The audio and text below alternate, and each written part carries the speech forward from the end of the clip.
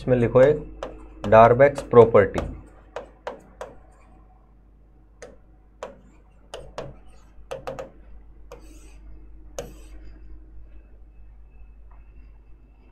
let i be an interval. Let i be an interval. I अपने पास कोई interval दिया हुआ है? इंटरवल समझते हो? रियल लाइन पे कोई छोटा सा पार्ट ले लेते हैं हम। इंटरवल में जितने भी उसके जो दो पॉइंट्स हम लेते हैं, उनके बीच के जितने भी पॉइंट्स हैं, वो सारे कवर हो जाते हैं। ठीक है? Then the function F from I to R then the function एक फ़ंक्शन ले लेते हैं एफ़ कहाँ से? इस इंटरवल से डिफाइन हो रहा है और कहाँ पर? आर पर रियल लाइन पर। यानी जो डोमेन है वो तो इंटरवल हो गया अपने पास और को डोमेन जो रेंज है वो अपने पास रियल नंबर में कुछ आ रहा है। Is set to have the Darboux property is set to have the Darboux property या फिर इसको हम जो है इंटरमीडिएट वैल्यू प्रॉपर्टी भी कहते हैं। और ब्रैकेट में लिख सकते हो इंटरमीडिएट वैल्यू प्रॉपर्टी ठीक इंटरमीडिएट वैल्यू प्रॉपर्टी बोलते हैं या फिर डार्बेक्स प्रॉपर्टी ओन आई ठीक है, किस इंटरवल पे? ओन आई आई इंटरवल पे इफ़ एंड ओनली अगर for every if and only for every कोई दो एलिमेंट हम लेते हैं for every A and B belongs to I interval से कोई दो पॉइंट लेते हैं। And for every K between for every K between एक नंबर कोई है के अपने पास बिटवीन एफ़ ऑफ़ ए और एफ़ ऑफ़ बी के बीच। Between F of A and F of B there exist एक कोई सी पॉइंट मिलेगा देर एग्जिस्ट सी बिटवीन कहा मिलेगा? ए और बी के बीच। Between A and B such that और किस तरह से मिलेगा? Such that F of C equals to K ठीक है? इसको समझते हैं। डार्बेक्स प्रॉपर्टी क्या होती है? या फिर जिसको इंटरमीडिएट वैल्यू प्रॉपर्टी भी बोलते हैं। इंटरमीडिएट यानी कि बीच में। कहीं अपने पास कोई वैल्यू आ रही उस प्रॉपर्टी को। ठीक है तो नाम से भी थोड़ा आइडिया लग जाएगा। ये क्या कहना चाह रहा है कि आई अपने पास कोई इंटरवल है? ठीक है, कोई भी इंटरवल ले लिया। इस इंटरवल की वैल्यूज़ से हम, मैं फ़ंक्शन में इस इंटरवल से वैल्यूज़ उठाऊँगा। पहले मैंने एक वैल्यू उठाई, फिर उसकी इमेज निकाली, फिर दूसरी वैल्यू ली, फिर उसकी इमेज निकाली। ऐसे जब मैं ले रहा हूँ तो जो इमेज आ रही है, वो कहाँ पे आ रही है अपने पास? रियल नंबर में। फ़ंक्शन कहाँ से का डिफाइन है? आई से आर में। ठीक है? तो अगर ये जो आई है इंटरवल आई इसके अंदर डार्बेक्स प्रॉपर्टी या फिर इंटरमीडिएट वैल्यू प्रॉपर्टी सेटिस्फाई हो रही है नहीं हो रही, उसके लिए क्या रहेगा अपने पास? कि अगर एफ़ ऑफ़ ए और एफ़ ऑफ़ बी के बीच में कोई वैल्यू ले लेता हूँ के इन दोनों के बीच में कोई वैल्यू ले लेता हूँ के तो इसके लिए मुझे ए और बी के बीच एक वैल्यू सी मिलेगी। और कैसे मिलेगी? कि एफ़ ऑफ़ सी फ़ंक्शन पर सी की वैल्यू जो एफ़ में सी की वैल्यू निकालूँगा तो वो क्या आ रहा होगा मेरे पास? क्या आ रहा होगा। ये ये कहना चाह रहा है इसमें। ठीक है, देखो क्या एक्चुअल में इसका मीनिंग क्या है? कि आप, ये है आपके पास, ये मान लो कोई ग्राफ है, कि ये ए पॉइंट है ए पॉइंट पर ए पॉइंट पर फ़ंक्शन की वैल्यू ये थी आपके पास एफ़ ऑफ़ ए ठीक है? सेकंड आपने एक पॉइंट लिया इंटरवल बी ये बी इस पर फ़ंक्शन की वैल्यू है एफ़ ऑफ़ बी तो डार्बेक्स प्रॉपर्टी क्या कहती है कि इस एफ़ ऑफ़ ए और एफ़ ऑफ़ बी के बीच आप कोई भी वैल्यू आप लेते हो, इसके बीच आप कोई भी वैल्यू के आप लेते हो, ठीक है? इसके बीच कोई भी वैल्यू के लेते हो तो उसके लिए मुझे एक सी मिलेगा। और कैसे मिलेगा कि उस सी पर जब मैं फ़ंक्शन की वैल्यू निकालूँगा तो क्या आ रहा होगा वो? क्या आ रहा होगा। यानी इनके बीच कोई भी वैल्यू आप ले रहे हो, उसके लिए यहाँ इसी इंटरवल में एक वैल्यू मिलेगी, जिसकी वैल्यू ये, जिसमें फ़ंक्शन की वैल्यू ये आ रही होगी अपने पास। ये कहती है इंटरमीडिएट वैल्यू प्रॉपर्टी या फिर डार्बेक्स प्रॉपर्टी उसका मीनिंग है ये। यानी कि for each for each K belongs to F of A से एफ़ ऑफ़ बी के बीच between K belongs to between F of A and F of B there exist एक सी मिलेगा, कहाँ पर मिलेगा? ए और बी के बीच, उस इंटरवल में। और कैसे मिलेगा? किस एफ़ ऑफ़ सी सी पर जब फ़ंक्शन की वैल्यू निकालेंगे तो वो क्या आ रहा होगा। ठीक है, यानी इसके बीच के हर पॉइंट की हमें एक वैल्यू मिलेगी और कहाँ मिलेगी? इसी के बीच में मिलेगी। ये डार्बेक्स प्रॉपर्टी कहती है। ठीक, अब इसी से है अपने पास एक theorem, Darboux's theorem.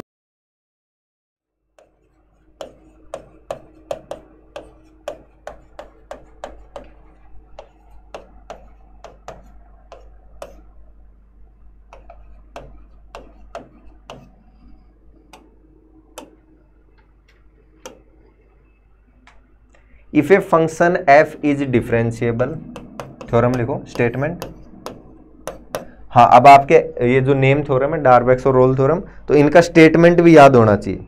ठीक है? एग्ज़ाम में आपके स्टेटमेंट भी आ सकता है। या सॉरी मतलब हो सकता है आपको एग्ज़ाम में स्टेटमेंट दे दे कि ये थ्योरम प्रूफ करो, या फिर हो सकता है वो आपको बाय नेम दे दे कि state and prove Darboux theorem तो वहाँ पे दोनों चीज़ें आपको होनी चाहिए। स्टेटमेंट भी आपको ध्यान होना चाहिए और उसका जो प्रूफ है, वो भी याद होना चाहिए। ठीक है? इंपॉर्टेंट थ्योरम है, मान के चलो आपके रिपीट होती होती है। Statement if a function F is differentiable if a function F is differentiable differentiable मतलब इसका डेरिवेटिव एग्जिस्ट कर रहा है, कुछ ना कुछ यूनिक अपने पास फाइनाइट जो है डेरिवेटिव होगा इसका। Differentiable in close interval A B close interval A B and K be a number between f f of a and f of b if a function f is differentiable in close interval ab close interval ab में differentiable है ठीक है in close interval ab in close interval ab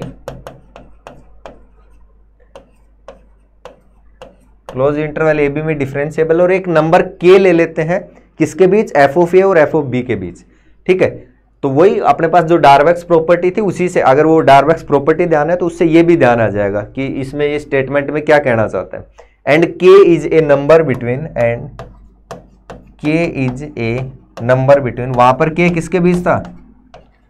F of A और F of B यानी function में ए की value ए पर function की वैल्यू और बी पर फ़ंक्शन की वैल्यू उसके बीच में एक नंबर हमने लिया था के लिया था। ठीक है? तो यहाँ पर अब डिफरेंशिएबल है। ठीक है तो यहाँ पर एफ़ डैश ए और एफ़ डैश बी ले लेंगे।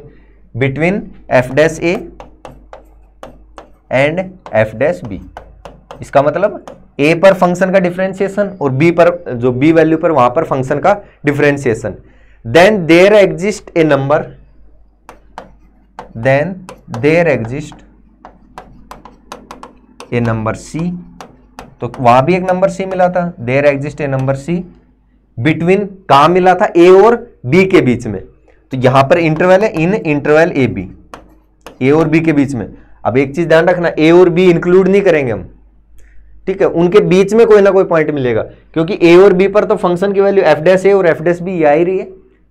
और हमने जो ये पॉइंट के लिया है, वो एफ़ डेस ए और एफ़ डेस बी के बीच में कहीं लिया है। तो जो मेन जो सी पॉइंट है, वो भी हमें इस इंटरवल के बीच में कहीं मिलना चाहिए। बीच में मिलने का मतलब है कि हम ए और बी को छोड़ देते हैं। तो हमने क्या लिख दिया? ओपन इंटरवल बात तो वही हुई। ठीक है is open interval A B in open interval A B so that और किस तरह से? कि इस सी पॉइंट पर फ़ंक्शन का जब मैं डेरिवेटिव करूँगा तो क्या आ जाएगा? मेरे पास वो क्या आ जाएगा। इस सी पॉइंट पर फ़ंक्शन का डेरिवेटिव करूँगा तो मेरे पास क्या आ जाएगा? क्या आ जाएगा। ये जो है स्टेटमेंट है डार्वेक्स थ्योरम का। अब आपके पास ये स्टेटमेंट भी आ सकता है। ठीक है, या फिर आपके पास ऐसे डायरेक्ट भी आ सकता है state and prove Darboux's theorem तो आपको दोनों स्टेटमेंट भी याद होना चाहिए, और ये जो है इसका प्रूफ तो करना ही करना है स्टेटमेंट भी ध्यान होना चाहिए। ठीक है प्रूफ कैसे करेंगे? नंबर हमें एफ़ डेस ए और एफ़ डेस बी के बीच में मान लेता है तो मान लेते हैं लेट एफ़ डेस ए इससे बड़ा के और उससे बड़ा एफ़ डेस बी बीच में आ गया। अब आप कहोगे कि सर नहीं, ये तो छोटा भी हो सकता है। बिल्कुल हो सकता है तो जब हम इसके लिए प्रूफ कर देंगे तो सेम चीज़ उसके लिए भी प्रूफ हो जाएगी, है ना? सिमिलरली अगर हम इसके लिए प्रूफ करेंगे तो वो सिमिलर चीज़ जो आप अगर ये कंडीशन लेके चलोगे एफ़ डैश ए इससे सॉरी, इससे छोटा के और उससे भी छोटा अपने पास एफ़ डैश बी तो वहाँ भी वो कंडीशन सेटिस्फाई हो जाएगी। तो लास्ट में आपको सिर्फ़ एक लाइन लिख ली है, सिमिलरली अगर ये कंडीशन हम लेते हैं क्या लिया था यहाँ पे? एफ़ डैश ठीक है? हाँ सिमिलरली अगर हम ये कंडीशन लेते हैं कि यहाँ पर ये साइन लेते हैं तो भी अपने पास ये जो है प्रूफ हो जाता है। तो लास्ट में सिर्फ़ वो एक लाइन लिखनी है। ठीक है, ये हमने ले लिया नंबर वन इक्वेशन फ़र्स्ट इसको नाम दे देते हैं। कि के जो है वो एफ़ डैश ए और एफ़ डैश बी के बीच में। ए पर जो फ़ंक्शन का डेरिवेटिव है बी पर जो फ़ंक्शन का डेरिवेटिव उन दोनों के बीच में एक नंबर हमने ले लिया के एक और फ़ंक्शन यहाँ पे हम डिफाइन करेंगे। Let us define a function let a function let us define a function H X उसको नाम दे देते हैं let a function is defined और कैसे डिफाइन करेंगे इसको? कि जो अपने पास एफ़ एक्स था, उसमें से के ऑफ़ एक्स माइनस कर दें। के इंटू एक्स अब के यहाँ पे एक नंबर है, ठीक है? ध्यान हो तो के एक नंबर है, ठीक है? उसको मल्टीप्लाई करोगे एक्स से, वो एक फ़ंक्शन है, वो उसमें से माइनस कर दें। डिफाइन इन और कहाँ पर डिफाइन करना है? Define in close interval close interval A B close interval A B में डिफाइन कर दिया। और कैसे डिफाइन कर रहे हैं? सच दैट कि जो एच एक्स है, वो अपने पास क्या आ रहा है? F of X minus K X जो के आप लेके चले थे minus K X for all X belongs to close interval A B ठीक है क्लोज इंटरवल ए बी में से कोई भी पॉइंट आप ले रहे हो, उस पर फ़ंक्शन एफ़ के रेस्पेक्ट में वैल्यू निकाल रहे हो, फिर के इंटू एक्स कर रहे हो माइनस कर रहे हो दोनों को तो एच ऑफ़ एक्स की वैल्यू आ जाएगी। ऐसे ही सारे जो पॉइंट्स हैं, उनकी सबकी वैल्यू आती रहेगी अपने पास। ये हमने एक फ़ंक्शन डिफाइन कर लिया एच एक्स अब ये दोनों फ़ंक्शन डिफरेंशियबल है या नहीं एफ़ एक्स तो अपने पास डिफरेंशियबल दिया हुआ है। भाई जो एफ़ एक्स है, वो तो डिफरेंशियबल दिया हुआ है क्लोज इंटरवल ए बी में। और जो के एक्स है वो भी डिफ्रेंशियबल होगा। है क्या इसमें? नंबर ही तो है। भाई के भी एक नंबर है एक्स भी एक कुछ ना कुछ नंबर होगा। इंटरवल में से कोई ना कोई नंबर होगा। ठीक है, दोनों को मल्टीप्लाई करोगे, एक फिक्स नंबर आएगा, उसका डिफ्रेंसिएशन क्या हो जाएगा? ज़ीरो हो जाएगा। कोई कांस्टेंट क्वांटिटी आपका डिफ्रेंसिएशन करते हो, आप क्या हो जाता है अपने पास? ज़ीरो हो जाता है। दोनों डिफरेंशियबल है क्लोज इंटरवल ए बी में। Now because F of X and K X is differentiable is differentiable in close interval A B और अगर ये दोनों क्लोज इंटरवल ए बी में डिफरेंशियबल है तो इनका जो माइनस हम करेंगे सब्ट्रैक्ट हम करेंगे तो वो जो फ़ंक्शन बनेगा, वो भी क्या आएगा? क्लोज इंटरवल ए बी में डिफरेंशियबल आएगा। ये हमने प्रॉपर्टीज़ पढ़ी थी एल्जेब्रा ऑफ़ डेरिवेटिव शायद। दो फ़ंक्शन अगर डिफरेंशियबल है तो उनका जो वो करेंगे मल्टीप्लाई सॉरी एडिशन या सब्ट्रैक्शन करेंगे, वो भी अपने पास क्या आएगा? डिफरेंशियबल आएगा। That is H of X is also differentiable also differentiable in close interval A B in close interval A B ये भी क्या आएगा अपने पास? क्लोज इंटरवल ए बी में डिफरेंशियबल आएगा। अगर डिफरेंशियबल है किसी क्लोज इंटरवल में तो कंटिन्यूस भी होगा। और कंटिन्यूस है तो बाउंडेड भी होगा। ये चीज़ हमने पढ़ी थी। अगर कोई डिफरेंशियबल फ़ंक्शन है तो कंटिन्यूस होगा। कंटिन्यूसी कंटिन्यूटी तो वहाँ पे नेसेसरी कंडीशन थी। ठीक है, ये तो होगा ही होगा। अगर डिफरेंशियबल है तो कंटिन्यूस होगा। और कंटिन्यूस है क्लोज इंटरवल में तो फिर बाउंडेड भी होगा। अगर क्लोज इंटरवल में कंटिन्यूस है तो बाउंडेड भी होगा। ये सारी थ्योरम्स हम पहले पढ़ चुके हैं, उनका सिर्फ़ स्टेटमेंट यूज़ में लेना है। That is H of X is continuous in close interval close interval के थ्योरम्स हम सारी कर चुके हैं। क्लोज इंटरवल ए बी, यानी इस क्लोज इंटरवल में ये कंटिन्यूस भी होगा और बाउंडेड भी होगा। अगर कंटिन्यूस है तो बाउंडेड भी होगा। H X is bounded in close interval A B इस इंटरवल में ये क्या होगा? बाउंडेड भी होगा। सुप्रीमम इन्फीमम वो एग्जिस्ट करेंगे अपने पास। ठीक है तो हम मान लेते हैं, अगर बाउंडेड है ये, हमने ये पढ़ा था कि अगर कोई फ़ंक्शन क्लोज इंटरवल में बाउंडेड है तो वो अपने सुप्रीमम और इन्फीमम को एटलीस्ट एक बार क्या करेगा अटेन करेगा। ये थ्योरम पढ़ी थी, ध्यान हो तो कि वो अपने सुप्रीमम और इन्फीमम वैल्यू को कम से कम एक बार तो अटेन करेगा ही करेगा, अगर बाउंडेड है और क्लोज इंटरवल में बाउंडेड है तो। ठीक है कंटिन्यूस फ़ंक्शन वहाँ पे हमने सारी कंटिन्यूटी में सारी थ्योरम्स पढ़ी थी। यानी कि जो एच ऑफ़ एक्स है, वो अपने सुप्रीमम और इन्फीमम को इस क्लोज इंटरवल ए बी में एक बार क्या करेगा? अटेन करेगा। दैट इज़ दिख रहा है क्या यहाँ पे? एच एक्स अटेन्स ग्रहण करेगा मतलब? ठीक है H X attains its supremum and infimum तो उसको कुछ नाम दे देते हैं। इट्स सुप्रीमम कैपिटल एम नाम दे देते हैं।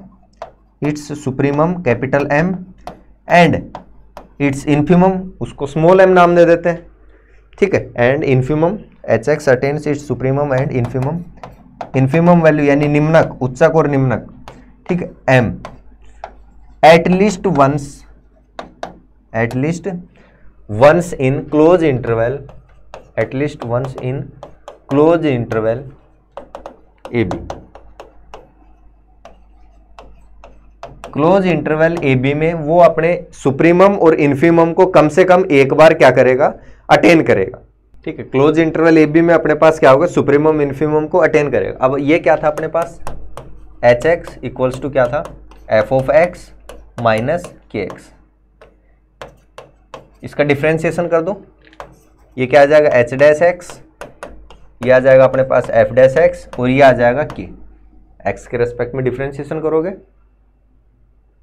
ठीक है, जैसे टू एक्स रहता है, इसका डिफ्रेंसिएशन करते हो, क्या आ जाता है? टू एक्स का वहाँ पे। क्या आ जाएगा? क्या किया हमने? Own differentiation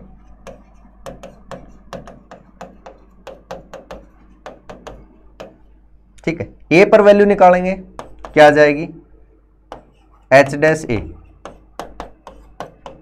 F dash A minus की ये वैल्यू आ जाएगी अपने पास। और ये वैल्यू क्या आएगी? लेस देन ज़ीरो आएगी। फ्रॉम वन फ्रॉम वन देखो वन क्या थे अपने पास? ये। कि जो एफ़ डैश ए उससे बड़ा के है और उससे एक, एक चीज़ यहाँ पे नोट करना। इंटरवल जब हम लिखते हैं तो इंटरवल में पहले जो वैल्यू आप लिखते हो वो छोटी रहती है उसके बाद फिर बड़ी वैल्यू रहती है। ठीक है इंटरवल ऐसे बनाते हो आप। कभी भी ये थोड़ी लिखा है टू वन लिख भी मत देना इंटरवल ऐसे नहीं आता। इंटरवल क्या आता है अपने पास? रियल लाइन पे, पहले वाला छोटा, फिर उससे बड़ा। ठीक है, और उसके बीच के जितनी भी वैल्यूज़ हैं, वो उस इंटरवल में अपने पास क्या हो जाती हैं? कवर हो जाती हैं। वो उस इंटरवल में कवर हो जाते हैं। तो एफ़ डैश ए से एफ़ डैश बी के बीच, और उससे बड़ा ये है, उससे बड़ा। तो बीच में कहीं ना कहीं क्या आ रहा है ना? यानी सबसे छोटा क्या हुआ? एफ़ डैश ए हुआ। उससे बड़ा फिर के हुआ और उससे बड़ा एफ़ डैश बी सबसे बड़ा मतलब क्या हो गया? एफ़ डैश बी हो गया। तो एफ़ डैश ए तो सबसे छोटा था और उसमें से के आप माइनस कर रहे हो। यानी कुछ बड़ी वैल्यू माइनस कर रहे हो तो क्या आएगा? नेगेटिव में कुछ ना कुछ आएगा ना। मान लो भाई, ये कुछ भी था, ये थ्री से फाइव मान थ्री से सेवन मान लो इंटरवल था और आपने के लिया था फाइव तो जब इस थ्री में से एफ़ डैश ए में से ये फाइव माइनस करोगे तो क्या आएगा? माइनस टू ही तो आएगा। नेगेटिव में तो कुछ ना कुछ वैल्यू आएगी। ठीक है लेस देन ज़ीरो आएगा। कहाँ से लिखा हमने? फ्रॉम वन से। यानी कि जो एच डैश ए है, वो क्या आ गया अपने पास? लेस देन ज़ीरो आ गया। जो एच डैश ए है ए पर जो फ़ंक्शन एच है, उसका डिफ्रेंसिएशन वो अपने पास क्या आ गया? लेस देन ज़ीरो आ गया नेगेटिव और इसका मतलब क्या हुआ कि जो फ़ंक्शन एच एक्स है, वो अपने राइट नेबरहुड में क्या कर रहा है? डिक्रीजिंग है। डिफ्रेंशिएशन अपने पास वो होने का नेगेटिव आने का मतलब क्या है? लेफ़्ट की तो बात ही नहीं करेंगे। देखो, यहाँ पे अपने पास ये ए है, ये बी है।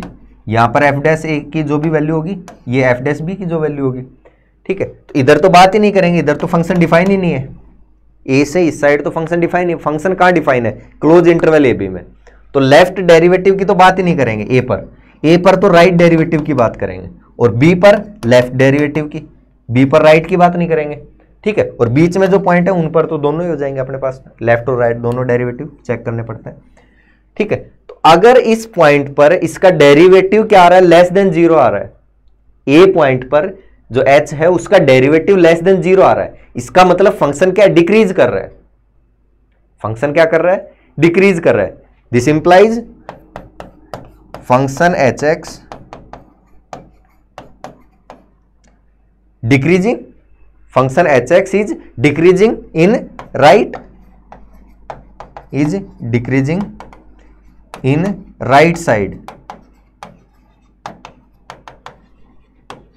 right side of A या फिर ए का राइट साइड क्या ले लेते हैं? ए से ए प्लस डेल्टा कुछ ले लेते हैं? या राइट नेबरहुड ले लो आप राइट साइड तो बहुत ज़्यादा हो जाएगा राइट नेबरहुड उसके आसपास के इलाके में right neighbourhood of A that is A से ए प्लस डेल्टा ये राइट नेबरहुड हो गया। भाई, ये पॉइंट होगा आपके पास, मान लो कहीं भी। इसको जैसे यहाँ बता देता हूँ मैं। इस पर ए पर जो फ़ंक्शन होगी, कि जो वैल्यू होगी, इसका राइट नेबरहुड यानी इधर वाला ये जो इलाका है, ठीक है? तो ये ए से कुछ ए प्लस डेल्टा ये इंटरवल तो होगा ना? ए से ए प्लस डेल्टा इस इंटरवल में, यानी राइट नेबरहुड में फ़ंक्शन क्या है? डिक्रीजिंग है। यानी फ़ंक्शन की वैल्यू डिक्रीज होती हुई आ रही। ये हमने देखा। ए से ए प्लस डेल्टा में। अब डिक्रीज होती हुई आ रही है। ए स्टार्टिंग में अपने पास ए है और ए से वैल्यू डिक्रीज होती हुई आ रही है। इसका मतलब ए पर इन्फिमम वैल्यू तो नहीं है। ए पर इन्फिमम वैल्यू तो नहीं है। भाई, आप ये कह रहे हो कि ये ए पॉइंट है और ए से वैल्यू तो डिक्रीज होती हुई आ रही है। तो इस इन्फिमम का मतलब क्या होता है? सबसे छोटी वैल्यू आपके पास। तो वो सीधी सी बात है, यहाँ पर सबसे छोटी वैल्यू तो हो नहीं सकती, क्योंकि सबसे छोटी वैल्यू अगर होती तो उससे फ़ंक्शन डिक्रीज होता हुआ कैसे जाता? सबसे छोटी वैल्यू से तो फ़ंक्शन इंक्रीज ही हो सकता है डिक्रीज तो नहीं हो सकता। इसका मतलब यहाँ पर ए पॉइंट पर इन्फिमम तो नहीं है। That is H X does not attain H X does not attain its infimum जो इसका निम्नक होगा, उसको अटेन नहीं करेगा। कहाँ पर? ए पॉइंट पर। एट ए ए पॉइंट पर अपने इन्फिमम को अटेन नहीं करेगा। ये हमने इक्वेशन वन लिख ली थी तो टू लिख लो इसको। इसको नाम दे दो टू ये ए पॉइंट पर अपने इन्फिमम को अटेन नहीं करेगा। Now F dash B F dash B या sorry H dash B H dash B क्या आएगा? एफ़ डैश बी माइनस के ये तो आएगा। एफ़ डैश बी माइनस के अच्छा ये वैल्यू क्या आएगी? नेगेटिव आएगी पॉजिटिव आएगी। देखो, क्या था? एफ़ डैश ए इससे बड़ी वैल्यू के था और उससे बड़ी, सबसे लास्ट में जो वैल्यू थी वो थी ये, सबसे बड़ी एफ़ डैश के यानी ये सबसे बड़ी वैल्यू है, उसमें से कुछ कम वैल्यू हम माइनस कर रहे हैं। कुछ भी हो सकता है कि हमें मतलब नहीं है। कम है, कम तो है तो ऑब्वियसली सी बात है ग्रेटर देन ज़ीरो आएगा। कुछ ना कुछ पॉजिटिव में वैल्यू बचेगी अपने पास। ये चीज़ें समझ में आ रही है, क्या कर रहे हैं हम? पॉजिटिव कैसे आ रही है नेगेटिव कैसे आ रही है? H dash X is increasing in increasing in left neighbourhood of B that is कुछ b माइनस डेल्टा से और b के अंदर। देखो, अभी समझते हैं इस चीज़ को कि क्या कहना चाह रहा है। ये इतना तो समझ में आ गया। अगर ये डेरिवेटिव अपने पास ग्रेटर देन ज़ीरो आ रहा है, या इसको एक स्टेप और लिख लो। This implies H dash B ये अपने पास क्या आ रहा है? ग्रेटर देन ज़ीरो बी पर फ़ंक्शन का डेरिवेटिव वो क्या आ रहा है? अपने पास ग्रेटर देन ज़ीरो आ रहा है। इसका मतलब जो फ़ंक्शन है वो अपने पास क्या कर रहा है? इंक्रीजिंग जो फ़ंक्शन है वो क्या कर रहा है अपने पास? इंक्रीज कर रहा है। कहाँ पर इंक्रीज कर रहा है? लेफ़्ट नेबरहुड में। किसके? बी के। और बी का लेफ़्ट नेबरहुड कुछ बी माइनस डेल्टा से बी हम ले लेते हैं। तो ये अब इसका ग्राफ बना लेंगे। ठीक है? बी माइनस डेल्टा से B that is H X does not attain its minimum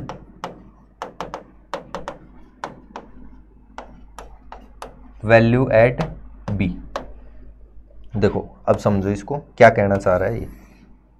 ये आपने ले लिया ए पॉइंट ये ए प्लस डेल्टा ठीक है ए से थोड़ा सा, ये राइट डेरिवेट अपने पास राइट साइड का वो हो गया एरिया ये बी पॉइंट था और इससे बी माइनस डेल्टा डेल्टा कुछ माइनस कर दे तो ये इसका नेबर ये बहुत छोटी क्वांटिटी हम थोड़ा सा न्यू समझ लो, आप जूम करके देख रहे हो तो थोड़ा ज़्यादा अपने को लगे। ठीक है? अब देखो, यहाँ पर, इस पर मान लो वैल्यू ये थी फ़ंक्शन की वैल्यू एफ़ ऑफ़ ए ये थी। और बी पॉइंट पर फ़ंक्शन की वैल्यू कुछ यहाँ थी, मान लो एफ़ ऑफ़ ये चीज़ समझ में आई? ठीक है? अब देखो, उसने क्या कहा था अपने पास? कि जो एफ़ डैश ए पर, यहाँ पर, इस पॉइंट पर वैल्यू क्या आई थी? एच की।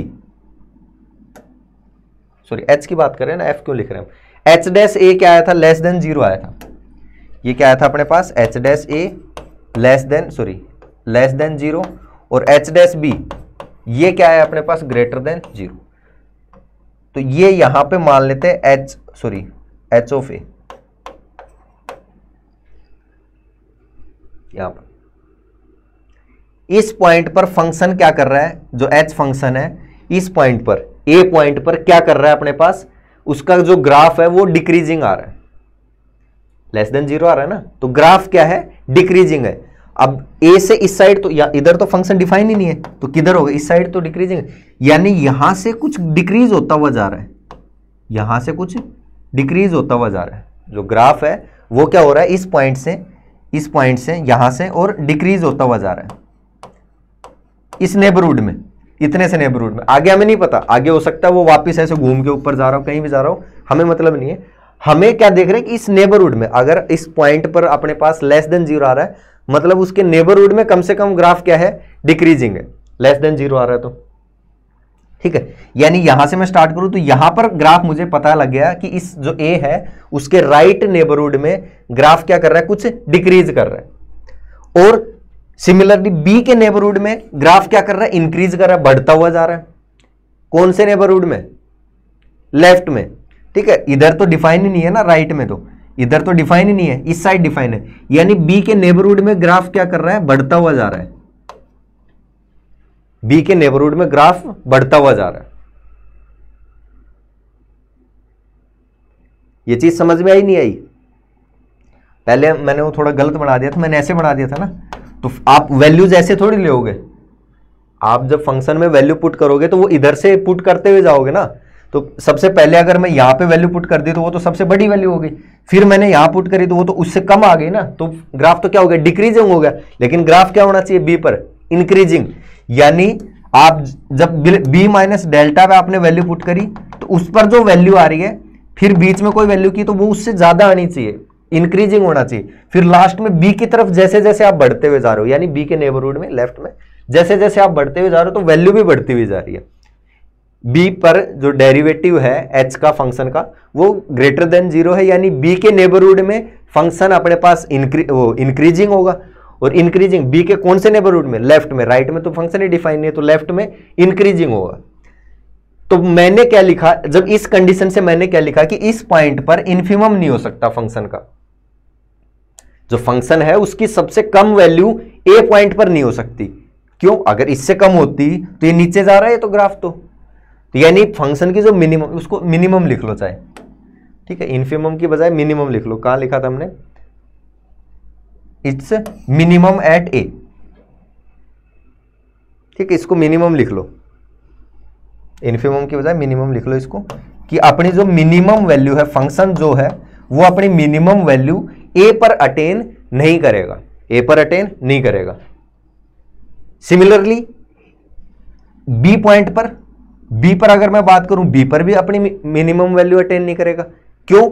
बी की तरफ़ जब ग्राफ बढ़ रहा है तो अगर यहाँ पर मिनिमम वैल्यू थी, मान लो इसकी तो फिर इधर से बढ़ता हुआ कहाँ से आ रहा है? कम होता हुआ आना चाहिए ना। भाई, आप अगर ये कहते हो कि सर ये बी पे मिनिमम वैल्यू है तो इसका मतलब इधर जो बी का बाकी जो हिस्सा है, उसमें तो ग्राफ इससे ऊपर ही होना चाहिए। लेकिन ग्राफ तो इससे नीचे है। तो कहीं ना कहीं बीच में कोई ना कोई पॉइंट सी होगा ना, कि उस पॉइंट पर इसकी वैल्यू क्या आ रही होगी? सबसे मिनिमम ग्राफ। अब बीच में ग्राफ क्या कर रहा है, कैसे जा रहा है, हमें कोई मतलब नहीं है। बट हमें क्या देखना है कि मिनिमम वैल्यू कहाँ पर है? तो वो कोई ना कोई बीच में अपने पास पॉइंट मिलेगा। वहाँ पर इसकी फ़ंक्शन की क्या मिलेगी? मिनिमम वैल्यू मिलेगी और उसको हम नाम दे देते हैं सी यानी जो इन्फिमम है, वो कहाँ पर आ जाएगा अपने पास? सी पर।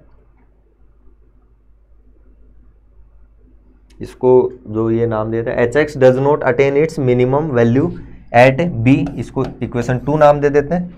ठीक है ग्राफ बनाना चाहो तो ये बना लो, थोड़ा आइडिया लग जाएगा कि इसके नेबरहुड में ग्राफ अपने पास डिक्रीजिंग है बी के नेबरहुड में ग्राफ इंक्रीजिंग बढ़ता हुआ जा रहा है।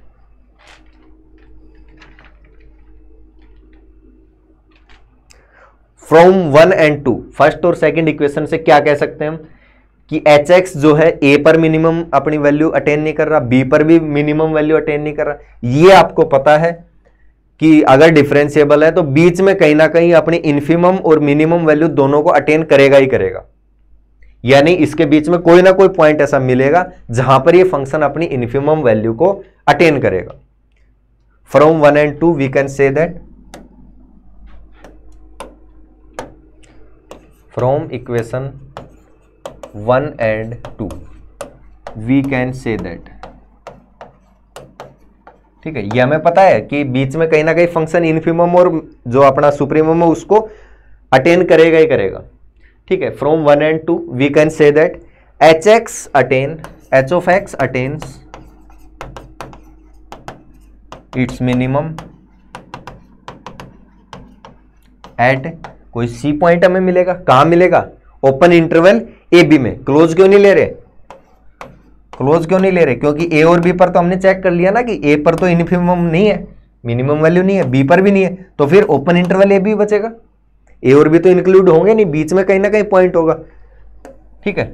जो एच एक्स है H X attains its minimum at a point C at a point C और सी पॉइंट कहाँ मिलेगा? ओपन इंटरवल ए बी में। सी पॉइंट कहाँ मिलेगा? ओपन इंटरवल ए बी में। और ये हमने मान लिया let minimum of H minimum of H in open interval A B is small M जो इन्फिमम था, वही मान लिया हमने कि ये इसका इन्फिमम है। ओपन इंटरवल ए बी में। दैट इज़ कि एच ऑफ़ सी इस पर अपने पास क्या आ रहा है? इन्फिमम मिल रहा है। इन्फिमम माना था ना हमने कैपिटल और एम सुप्रीमम एम और सी कहा आ रहा है अपने पास? सी वैल्यू कहा आ रही है? ओपन इंटरवल ए बी में। सी कहा आ रही है? ओपन इंटरवल ए बी में। सेकंड अब कंडीशन देखो अब। कंडीशन फ़र्स्ट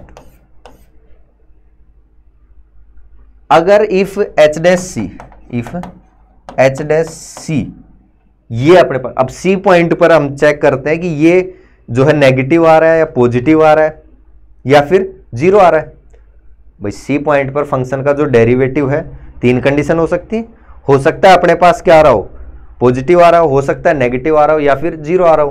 तो ये अपने पास मान लिया कि ग्रेटर देन ज़ीरो है। First condition greater than zero मतलब एक इसके नेबरहुड में क्या करेगा फ़ंक्शन इंक्रीज करेगा।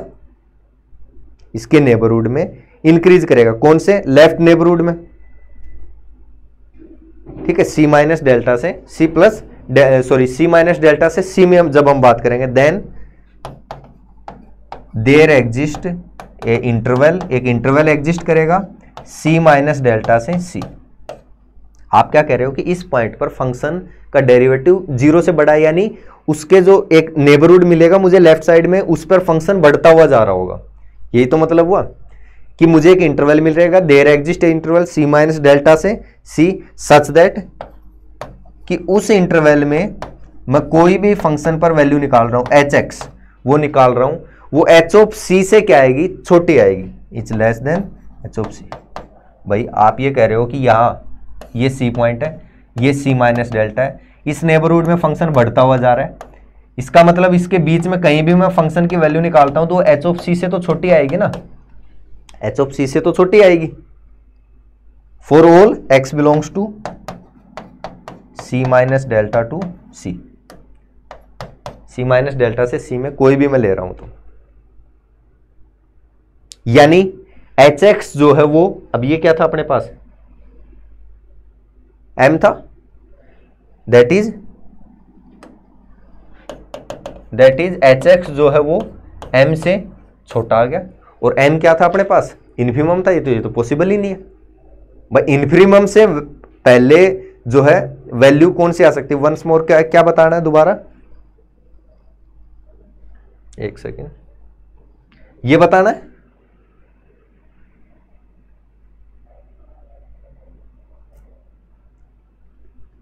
देखो सी पर जो फ़ंक्शन का डेरिवेटिव वो ग्रेटर देन ज़ीरो है। सी जो पॉइंट है, इस पर फ़ंक्शन का डेरिवेटिव ग्रेटर देन ज़ीरो है। इसका मतलब कि इसके नेबरहुड यहाँ पे अगर मैं सी माइनस डेल्टा ये जो नेबरहुड लूँगा तो इसमें फ़ंक्शन की वैल्यू बढ़ती हुई जाएगी। ग्रेटर देन ज़ीरो का मतलब है कि फ़ंक्शन की वैल्यू बढ़ती हुई जाएगी। फ़ंक्शन की वैल्यू बढ़ती हुई जा रही है, इसका मतलब इसके बीच में मैं कोई भी पॉइंट ले रहा हूँ एच एक्स वो इस पॉइंट पर एच ऑफ़ सी पर जो वैल्यू होगी उससे तो छोटा ही होगा। यहाँ पर जो वैल्यू है वो इस पॉइंट से तो छोटी होगी ना वैल्यू यानी ये क्या है अपने पास? M यानी एच ऑफ़ एक्स जो वैल्यू है वो m से छोटे आ गई। और m क्या था अपना? इन्फिमम था। तो इन्फिमम से वैल्यू छोटी कोई वैल्यू आ सकती है क्या? वो तो नहीं आ सकती। यानी ये कंट्राडिक्शन हो गया। विच इज़ कंट्राडिक्शन और कंट्राडिक्शन क्यों हुआ? भाई स्मॉल एम आपने क्या माना था? स्मॉल एम आपने इन्फिमम माना था। स्मॉल एम आपने इन्फिमम माना था। इन्फिमम से छोटी वैल्यू नहीं आ सकती। ठीक है which is contradiction that is तो फिर गलती कहाँ हुई? कि आपने एच डेस सी को ग्रेटर देन ज़ीरो मान लिया था। यही तो माना था आपने। एच डेस सी को ग्रेटर देन ज़ीरो यानी ये तो पॉसिबल नहीं है। अगर ये पॉसिबल हुआ तो फिर ये कंडीशन आएगी तो वो तो पॉसिबल ही नहीं है। यानी H dash C greater than zero नहीं हो सकता। चलो सेकंड कंडीशन लेके देख लेते हैं। Condition two condition two if H dash C less than zero then कि भाई मैंने मान लिया कि चलो एच डैश सी नेगेटिव मतलब ये कुछ नेगेटिव वैल्यू आ रही। इसका मतलब फ़ंक्शन इसके, जो इसका नेबरहुड होगा उसमें फ़ंक्शन क्या करेगा? डिक्रीजिंग करेगा। दैट इज़ देयर एग्जिस्ट कोई ना कोई इंटरवल मुझे मिलेगा। अब मैं इंटरवल ले लेता हूँ सी से सी प्लस डेल्टा कि इस इंटरवल में फ़ंक्शन क्या करेगा? डिक्रीजिंग करेगा। ठीक है? सच दैट कि इस इंटरवल में जब मैं फ़ंक्शन की वैल्यू निकालूँगा एच ऑफ़ एक्स वो अपने पास क्या आएगी? एच ऑफ़ सी से छोटी आएगी। एच ऑफ़ सी से छोटी भाई क्या मतलब हुआ? ये तो मतलब हुआ। ये सी पॉइंट है ये सी प्लस डेल्टा है। मैं क्या कह रहा हूँ कि ने, नेबरहुड में क्या आ रहा है अपने पास? फ़ंक्शन डिक्रीजिंग है। यानी यहाँ पर मैंने वैल्यू निकाली, कुछ ये आई, फिर निकाली, फिर कुछ डिक्रीजिंग आई, फिर ये आई, या इस तरह से ग्राफ चल रहा है अपने पास? तो यानी कहने का मतलब क्या हुआ कि किसी भी, इस इस इंटरवल के बीच आप किसी भी पॉइंट पर वैल्यू निकाल रहे हो, वो सी से सी पर जो वैल्यू है, उससे तो कमी आएगी ना। ये तो कहना चाह रहा है। For all X belongs to C से सी प्लस डेल्टा अब ये तो पॉसिबल नहीं है। क्यों? दिस इंप्लाइज जो एच एक्स है, वो अपने पास क्या आ गया? Less than M H of C तो क्या था? एम था। यानी इनफिमम से छोटी वैल्यू आ गई, फिर ये तो फिर पॉसिबल नहीं है। Which is again contradiction which is again contradiction that is जो एच डैश सी है, वो नेगेटिव नहीं है। पहले हमने देखा कि पॉजिटिव मान लेते हैं, चलो पॉजिटिव में कंट्राडिक्शन आ गया। तो हमने कह दिया कि पॉजिटिव नहीं है। फिर हमने मान लिया कि चलो नेगेटिव है नेगेटिव में भी कंट्राडिक्शन आ गया। तो हमने कह दिया कि चलो नेगेटिव भी नहीं है। फिर थर्ड केस क्या बचा? कि ये वैल्यू ज़ीरो है। From one and two from condition one and two क्या कह सकते हैं कि एच डैश सी जो है, वो क्या आएगा अपने पास? ज़ीरो आएगा। भाई जब नेगेटिव नहीं है पॉजिटिव नहीं है तो सीधी सी बात है, क्या आ रहा होगा? ज़ीरो आ रहा होगा। और इसको क्या लिखते हैं हम? एच डैश सी को। एफ़ डैश सी माइनस के ये तो लिखते हैं। फ़ंक्शन देखो क्या डिफाइन किया था स्टार्टिंग में। एच एक्स इक्वल्स टू ये तो डिफाइन किया था। H X equals to F X minus K X differentiation क्या था तो क्या आया था? H dash X F dash X minus K और सी पॉइंट पर वैल्यू अगर देखोगे तो यही क्या आ जाएगा? H dash C equals to F dash C minus K यही तो लिखा है। और ये अपने पास यानी कि F dash C equals to K F dash C equals to K यही प्रूफ करना था। थ्योरम में देखो। लास्ट में एक लाइन और लिख देना similarly similarly if F dash A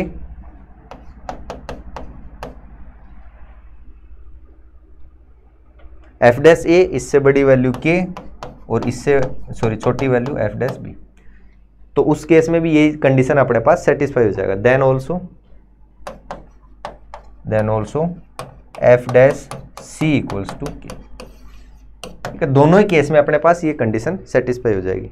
ठीक है? इसको एक बार अच्छे से पढ़ना, जो डार्बक्स थ्योरम है